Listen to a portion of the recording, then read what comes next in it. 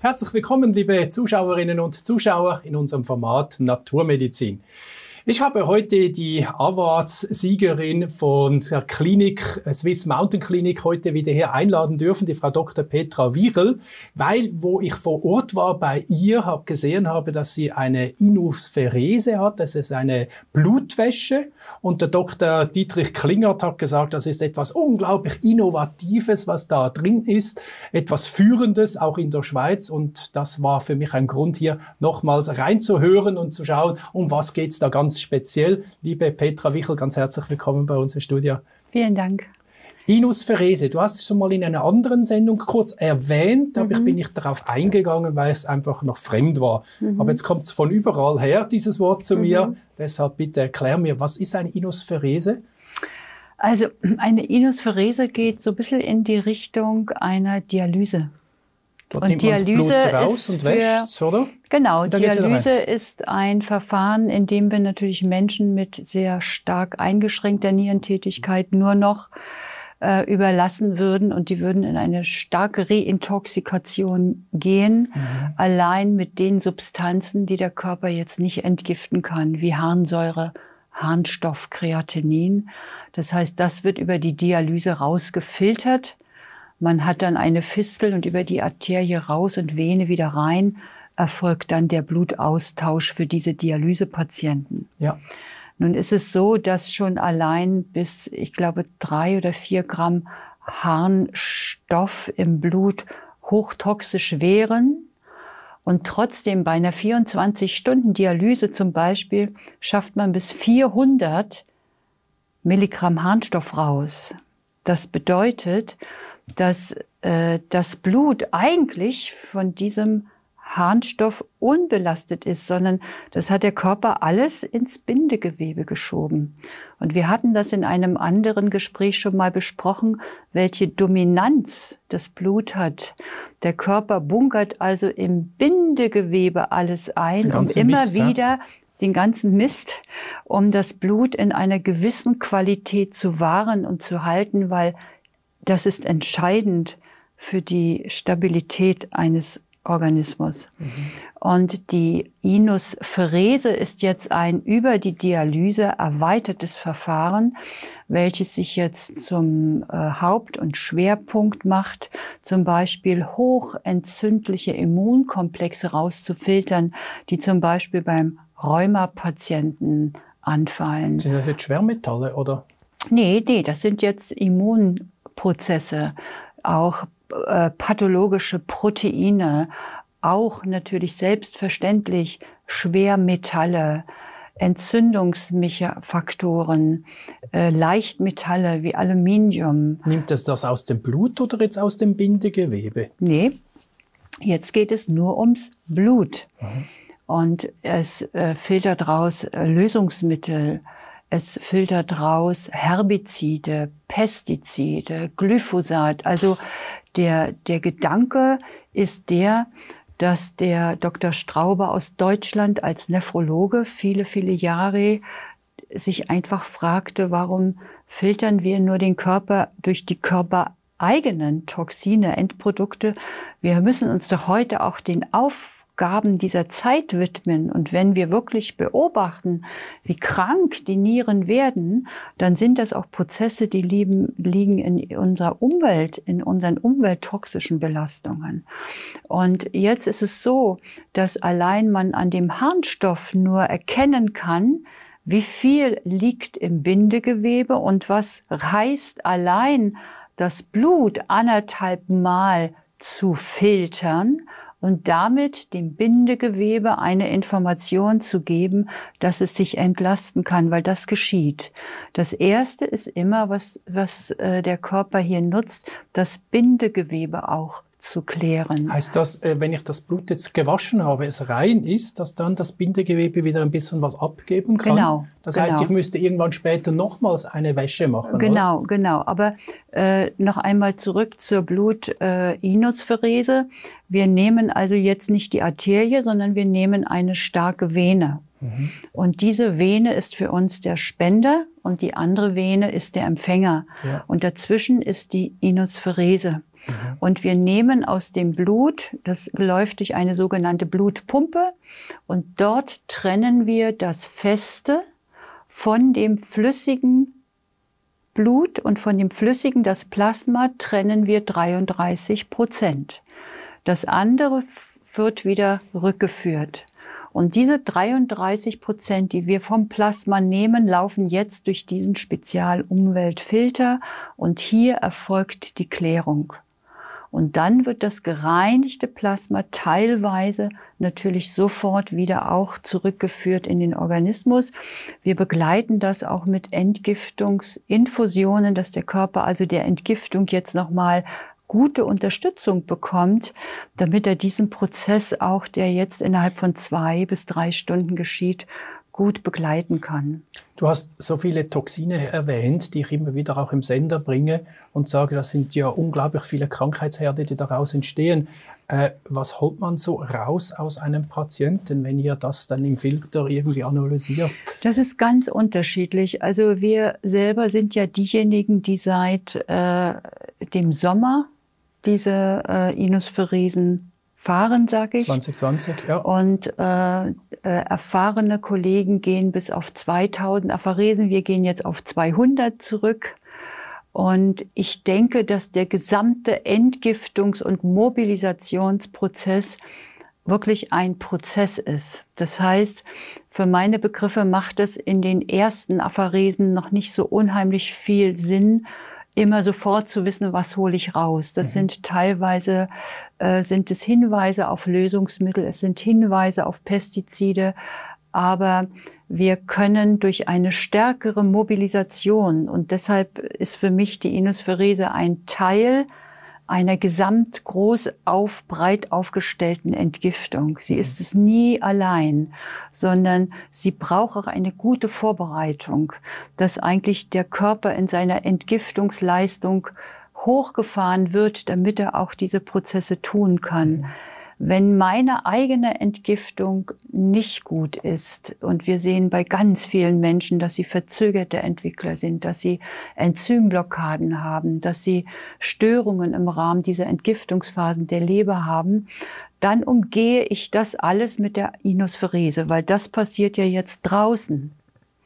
Aber langfristig ist es so, dass ich immer, wenn ich die Inospherese einschalten darf oder dazwischenschalten darf, den gesamten Entgiftungsprozess um ein Vielfaches natürlich damit auch beschleunigen kann und die Chance habe, nicht nur Schwermetalle und Leichtmetalle, sondern auch entzündliche Prozesse, die im Körper Entzündungsgeschehen unterhalten, regulieren kann. Das ist natürlich auch, ein Segen ne, für alle. Ja, auch, auch zum Beispiel in der äh, Therapie der Borreliose hat es einen ganz großen Effekt. In der Therapie des Rheumas, Autoimmunerkrankungen. Und wir hatten jetzt vor Weihnachten ein ganz schönes Beispiel äh, in der Demenzbehandlung. Die ältere Dame, 85 Jahre, hat seit sechs Jahren kein Wort mehr gesprochen. Und sie hat am Dienstag die erste Apharese gehabt und hat noch am Abend mit ihren Kindern erstmalig kommuniziert. Und als sie am nächsten Tag den Ruhetag hatte und am übernächsten Tag zur zweiten kam, hat diese ältere Dame mit mir wirklich adäquat wieder geantwortet. Das war ganz stark berührend, wo wir ja heute auch wissen, und äh, der mein lieber Kollege Dr. Klingert hat von der äh, Brain Pharesis gesprochen. Das heißt, wir kommen natürlich über die Inospherese auch an die zerebrale Durchblutung. Das also heißt, wir können das Hirn auch entgiften. Ja, und das muss ja bei dieser Dame auch geschehen sein. Und das, was an Entzündungen auch im Rahmen einer Demenzerkrankung ganz präsent ist, kann man natürlich in diesem Moment, dass man das so schnell teilweise beobachten kann. Das hätte ich gar nicht erwartet. Aber äh, Kollegen, die natürlich da schon viel mehr Erfahrung haben, haben als ganz äh, feste Indikation auch die Demenzerkrankung. Und wie bei allen Dingen ist es immer so, man muss sich am Anfang darum Sorge tragen, was ist die Ursache meiner Demenz, was ist die Ursache meines Parkinsons, was ist die Ursache meiner MS. Nur der Name sagt ja noch gar nichts. Und das ist natürlich auch nicht medikamentös mit, mit einem oder zwei Medikamenten zu klären. Mhm. Der Herr Klinghardt sagt immer wieder, Aluminium ist das große Problem genau. heutzutage für unser Hirn. Ja, ja, das ja, heißt, diese Inosphärese holt genau das Aluminium auch wieder aus dem Hirn raus. Ja, ja, ja, ja, natürlich. Und das Aluminium ist ja das als Leichtmetall die Struktur, die wir ja auch gar nicht kennen. Ja, der Körper weiß nicht, was er damit soll. Er hat weder einen speziellen Abbaumechanismus, er hat weder eine bestimmte äh, Immunleistung, die sich angesprochen fühlt. Es ist ja kein Mikroorganismus. Das heißt, er kann das Aluminium nur deponieren und darauf bauen, dass er es irgendwie in eine Nierengängigkeit äh, bringen kann, dass er es ausscheiden kann. Mhm. Die Bindung des Aluminiums zum Beispiel durch DMPS, durch, durch auch EDTA zum Beispiel, durch durch äh, Dyspheral, das sind alles Dinge, da kann ich Aluminium noch binden und kann es dann natürlich auch über den Körper ausscheiden im Rahmen einer Infusion. Das dauert, bis ich auf diese Ebene komme. Große, große Vorarbeit, bis ich hier irgendwo ein einen äh, Effekt habe. Also mhm. wir sprechen, Joachim Mutter spricht von 30 bis 40 auch solcher Infusionen, bis sich hier oben anbelangt. Der Körper arbeitet in einer knallharten Hierarchie, mhm. auch Toxine abzubauen. Und in der Beschäftigung des Thema Blutes ist mir nochmal sehr bewusst geworden, wie sehr er selbst auch diesen heiligen Saft schützt und es ins Gewebe deponiert. Aber das Bindegewebe des Menschen macht 60 bis 70 Prozent aus. Das ist der Zellzwischenraum, den er als Depot, als, als Mülldeponie nutzt, der aber natürlich, wenn der überfüllt ist, auch irgendwo wieder noch andere äh, Wege und Räume sucht, um abzulegen. Und dann geht es natürlich auf die Organebene. Aber der erste, der frei gemacht wird, ist immer das mhm. Bindegewebe. Du hast vorhin gesagt, der Herr Dr. Joachim Mutter hat gesagt, 30 bis 40 mhm. Infusionen mit DMPS mhm. und EDTA, genau. äh, um letztendlich wirklich ein bisschen zu waschen. Und die Inosphärese kann diesen Prozess natürlich massiv beschleunigen. Naja, na, selbstverständlich. Hm. Und sie ist natürlich auch noch in der Lage, ganz andere Dinge äh, sie äh, kann uns von ganz anderen Dingen befreien, die wir vielleicht im Vorfeld gar nicht kennen, die wir vielleicht auch gar nicht festgestellt haben, die wir vielleicht gerade erst durch die Diagnostik, man spricht von dem Eloat, was wir dann auffangen, das Plasma, was wir dann auch einschicken können, um es zu untersuchen auf diese Entzündungsfaktoren, auf diese Immunglobuline, auf diese diese äh, Paraproteine. Also das kann uns schon noch ein wertvolles Diagnostikum sein, aber sie ist für meine Begriffe da indiziert, die Inospherese, wo wir sagen, der Mensch äh, steht in der Erkrankung. Sie ist da indiziert, aber schon lange, wo wir sagen, was machen wir heute eigentlich präventiv? Denn auch morgen gesund zu bleiben heißt natürlich heute zu wissen, und heute für Gleichgewicht zu sorgen. Mhm, klar. Ja, ich meine, für das klären wir ja auch auf und ich selbst bin auch über 50 und beschäftige mich auch mit Entgiftung. Habe ja selber mal meine Werte angeschaut, äh, jahrelange Amalgamträger gewesen. Mhm. Bin jetzt in der Entgiftung und im April komme ich ja wieder zu euch und mhm. mache ja auch diese Inosphärese. Genau. Kannst du mir mal erzählen, wie diese Woche, wo ich ja dann da bin, äh, so aussieht? Naja, im Vorfeld ist es mir schon wichtig, nochmal zu schauen, wo stehen wir jetzt. Mhm. Wir machen ja diese Bindegewebstestung auf Schwermetalle, den sogenannten Oligoscan, der mir übrigens eine sehr schnelle Orientierung gibt und hunderte Male habe ich das auch nachgemessen, so dass ich weiß, wovon wir sprechen. Das heißt, es ist nur ein Diagnostikum.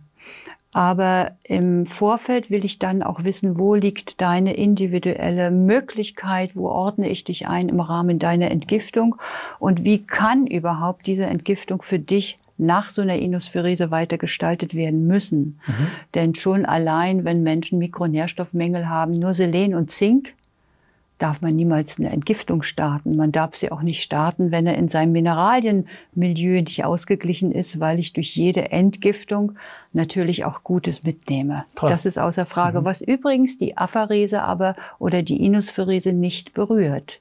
Das heißt, es kommt hier nicht zu Mineralienverlusten. Ah. Nein. Das ist, äh, das ist sehr schön und zumal wir natürlich das auch, was das Druck, den Druck anbelangt, immer wieder gut ausgleichen. Mhm. Aber äh, diese, diese Entgiftung, die wir anstoßen, die begleiten wir natürlich. Und da ist äh, die Leber steht im ganz großen Fokus. Die Leber behandeln wir zum Beispiel durch lokale Hyperthermie. Mhm. Alles das, was Entgiftung im Körper dann auch rausschafft, läuft über den Darm, läuft über die Leber. Mhm. Also haben wir natürlich natürlich Kolonhydrotherapie dabei. Mhm. Und wir haben äh, im Vorfeld noch eine Infusion, die dich da auch gut vorbereitet, mhm. dass die Inuspherese aus mhm. dem Bindegewebe sehr viel rausschaffen kann. Das heißt, diese Leberentgiftungswoche optimal mit der Inuspherese zu kann verbinden, man, oder? Kann man, kann man wirklich ganz, ganz mhm. gut kombinieren. Weil die habe ich ja mal gemacht und das genau. war schon ein Erlebnis. Genau. Wirklich ein Erlebnis. Was da genau. für ein Dreck rauskam, das ist ja unglaublich. Hm. Naja, gut. Mhm. mhm. Aber wichtig. Mhm. Aber ja. ganz wichtig. Ja, ja, ich habe auch Seite danach gefühlt, äh, als ob ich irgendwie zwei Monate Urlaub hatte. Ja. Äh, nur nach einer Woche. Dieses Gefühl war so tief äh, von innerer Ruhe. Das ganz war schön. schon äh, beeindruckend. Ja. Ganz schön, ja. Ganz, ganz schön. Wir, wir sagen eigentlich bei der, bei der Inuspherese, dass man äh, vielleicht, wenn man sich für eine Inuspherese entscheidet, zwei macht. Mhm. So im Abstand vielleicht, wenn der Patient zwei Wochen da ist, eine in der ersten, eine in der zweiten Woche.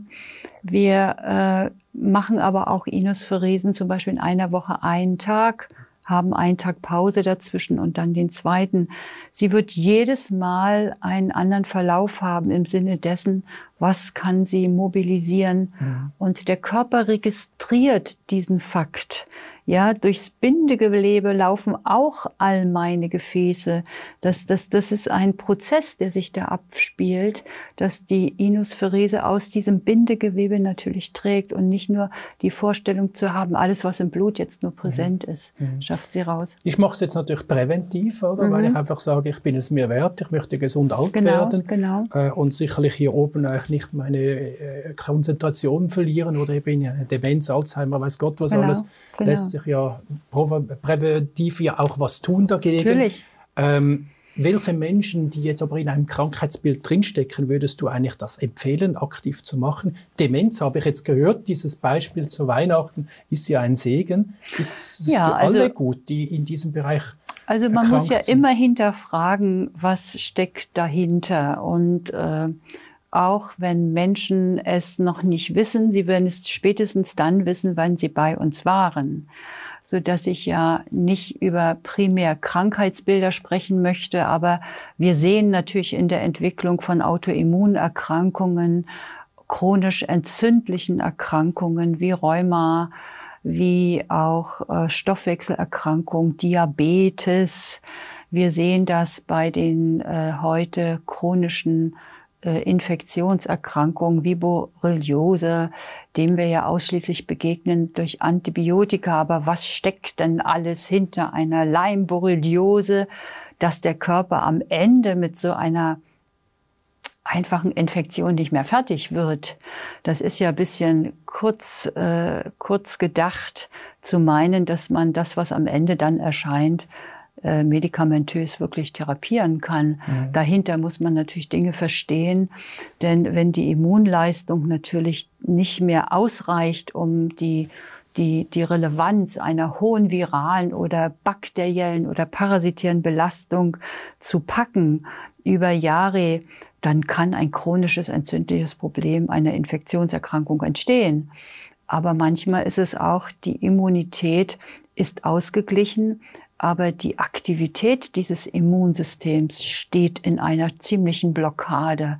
Da ist dann wieder die, die, die Frage der toxischen Belastungen zu klären. Das heißt, alle die Erkrankungen, die dahin tendieren, wie Autismus, wie ähm, Neurodegeneration, wie Parkinson, MS, äh, ALS, das sind Erkrankungen, deren, deren äh, Fundament ist so breit aufgestellt und dazwischen ist noch der Mensch der eine sehr starke Individualität hat, der vielleicht mit einer gewissen Entgiftungsschwäche einfach auf die Welt gekommen ist, der eine gewisse Entgiftungsschwäche entwickelt hat und im Laufe seines Lebens in der Zumutung jetzt nochmal einer Belastung mit Borrelien zum Beispiel einfach in ein chronisches Krankheitsbild geht. Und chronische Krankheitsbilder, wie sie heute entstehen, die haben, glaube ich, auch äh, das Recht, dass wir ihr Entstehen verstehen um dem Körper selbst eine Chance zu geben, ihn wieder auf einen Weg zu bringen, wo er zur Gesundheit zurückfinden kann. Ja. Wenn uns das alles nicht interessiert, mhm. dann werden wir immer mehr Chronizität auch haben. Haben wir. Und wir haben es. Und das ist ein wirklich ganz, ganz großer Punkt, wo ich heute denke, wir müssen uns noch mehr mhm. engagieren. Mhm. Viel, viel, viel, viel früher. Klar, das, das, das Warum müssen, wird einfach nicht gefragt. Das müssen, die, das müssen Standarddiagnostiken sein. Und ähm, ja, ich glaube, da, mhm. da sind wir gefordert und deshalb mhm. auch die Inosphärese ist ein Geschenk, was man sich vielleicht selber macht. Es gibt ja noch nicht so viele Anbieter von Innoferese. Wie sieht sind, das aus in Deutschland, Österreich, Schweiz? Ja, wir sind äh, zwei Zentren in der Schweiz. Mhm. Wir sind äh, in Deutschland und Österreich. Ich glaube, insgesamt gibt es zehn. Oh, erst, hä? Mhm. Mhm. mhm. Aber mhm. dann muss man für die Zuschauer googeln, Inosphärese ja, genau, eingeben, genau. suchen, wo man das machen kann und sich genau, dort schlau machen. Ja. Genau, genau, mhm. genau. Super. Ich danke dir ganz herzlich für diese wertvollen Informationen. Ich freue mich auf den April. Mhm, ich diese mich Zeit auch. gönne ich mir. Und Ihnen, liebe Zuschauerinnen und Zuschauer, wenn Sie diese Sendung noch mal schauen wollen, gehen Sie bitte einfach auf unsere Homepage qs24.tv, suchen Sie das Video und wenn Sie die Kontaktdaten zu meinem Gast haben möchten und da noch weitere Informationen über diese Inuspherese einholen möchten, dann können Sie dort reinschreiben und bestimmt kriegen Sie dann auch bald eine Antwort. Und wenn Sie ein anderes Anliegen haben oder etwas suchen, das jetzt gerade Sie betrifft, dann geben Sie es auch auf der gleichen Plattform qs24.tv ein in den Suchbegriff und Sie werden gleich direkt zu entsprechenden Videos hingeführt, die sich diesem Thema schon mal gewidmet haben. Außerdem finden Sie auf der Homepage auch alle Videos, die auf großen Portalen aus irgendwelchen Gründen immer wieder gelöscht werden. Die sind auch auf der Homepage drauf. Und ja, das war's für heute. Liebe Petra, herzlichen Dank. Ich danke dir. Und Ihnen auch alles Gute. Bis ein anderes Mal und auf Wiedersehen miteinander.